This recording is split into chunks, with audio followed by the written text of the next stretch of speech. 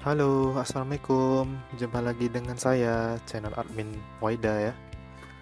Pada kesempatan kali ini kita akan belajar bareng teman-teman cara buat halaman berbeda ya di Microsoft Word 2007 ya. Nah, biasanya dalam pembuatan sebuah skripsi, makalah kita membuat halaman ya dari kata pengantar, daftar isi bab 1 dan seterusnya.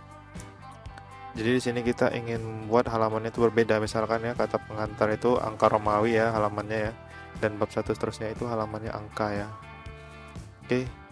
Kita buat halaman berbeda ini dalam satu dokumen teman-teman ya. Di situ ada cover, kata pengantar, daftar isi bab satu dan seterusnya itu dalam satu dokumen. Oke, bagaimana cara membuatnya? Langsung saja teman-teman. Sini saya ingin membuka sebuah contohnya ya makalah ya. Oke, di sini ada sebuah makalah, ada cover, ada kata pengantar, ada daftar isi, ada bab 1 sampai seterusnya ya. Di sini kan halamannya kosong teman-teman ya. Oke, langkah pertama teman-teman buat halamannya dulu ya. Teman-teman bisa klik ini insert. Kemudian teman-teman geser, pilih back number,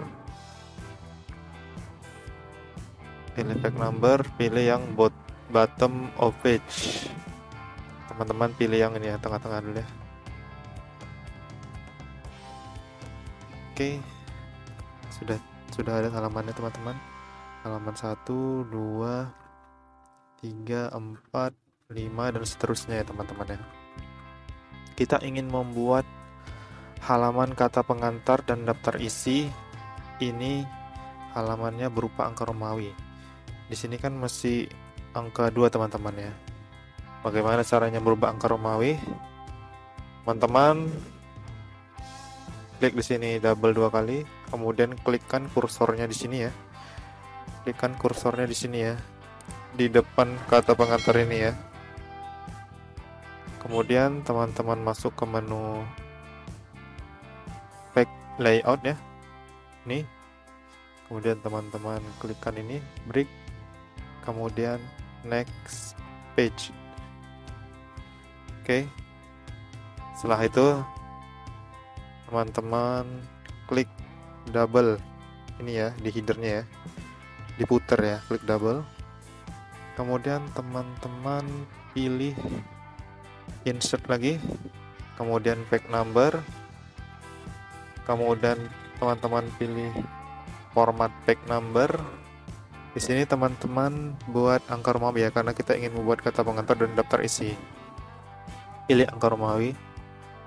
Dan pada start out ini teman-teman pilih I ya. Oke kan. Maka maka kata pengantar dan daftar isi halamannya sudah berubah menjadi angka Romawi I1 dan I2. Oke. Okay. Selanjutnya kita ingin membuat halaman angka ya di bab 1 ini ya. Ini kan si angka mau ya. Kita akan membuatnya halaman 1 sampai seterusnya ya. Oke, caranya sama teman-teman. Teman-teman klikkan di sini ya. Perlu diingat teman-teman ya. Ini jangan sampai ada spasi di sininya ya. Ini kita delete kan dulu. Ingat kursornya letakkan di sini ya, di depannya di depan ini hurufnya bab satu ini. Kemudian teman-teman pilih pick layout lagi. Kemudian ini bricks saya zoom dulu ya biar jelas ya. Kemudian next page. Setelah itu teman-teman klik double bagian puternya ya. Anda blok kemudian masuk ke menu insert. Pilih page number. Kemudian format page number karena kita ingin buatnya halaman angka. Teman-teman bisa buat angka ya.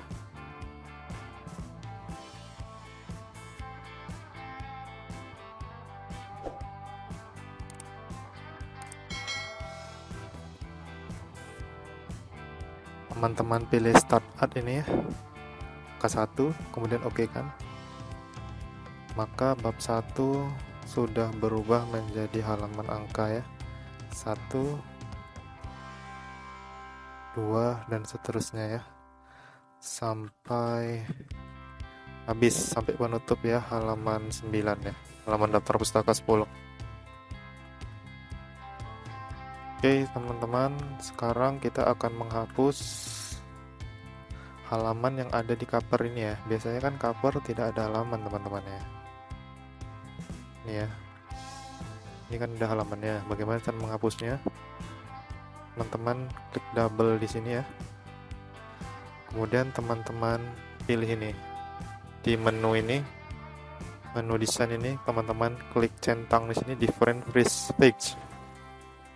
Maka secara otomatis halaman yang di pertama ini akan hilang teman-teman ya kemudian teman-teman klik double lagi. Oke teman-teman ya. Sudah jadi ya. Makalahnya tidak ada halaman ya. Kemudian kata pengantarnya halaman I1 dan I2 bab 1 halaman 1 sampai habis. Ke daftar pustakanya tadi ya. Berupa halaman angka ya oke teman-teman. Bagaimana? Mudah kan caranya? Membuat halaman berbeda dalam satu dokumen teman-teman ya. Oke demikian tutorial kali ini teman-teman. Semoga bermanfaat bagi teman-teman. Uh, jika ada kesalahan saya mohon maaf. Saya akhiri dengan assalamualaikum warahmatullahi wabarakatuh